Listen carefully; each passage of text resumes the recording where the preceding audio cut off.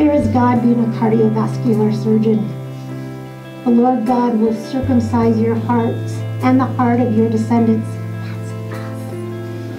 So that you may love him with all your heart, with all your soul, and live.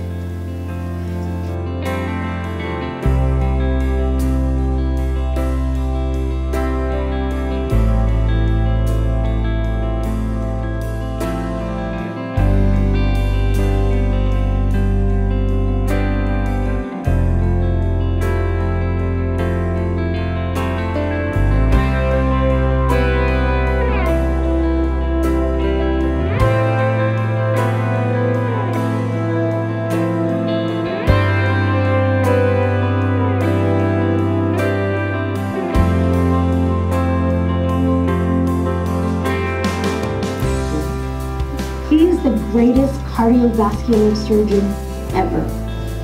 He can and has, with me, more times than I like to admit or like to think about, has cut out my damaged heart and replaced it with a God-filled, God-willed heart.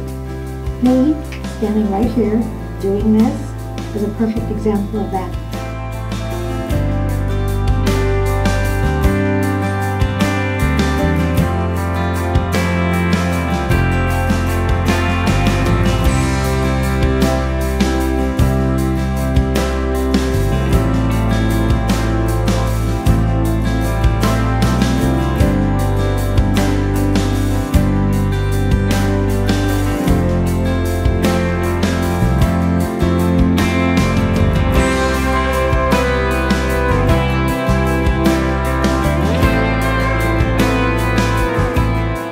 We don't always chase after God's heart because we don't.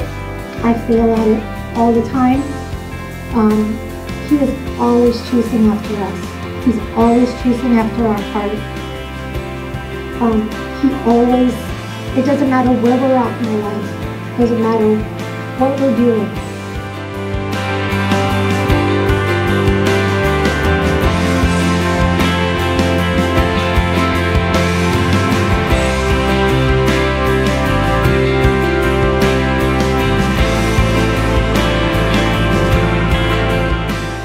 He wants to be part of your life. He's not going to force himself on you, but he is always going to chase you. He's always calling.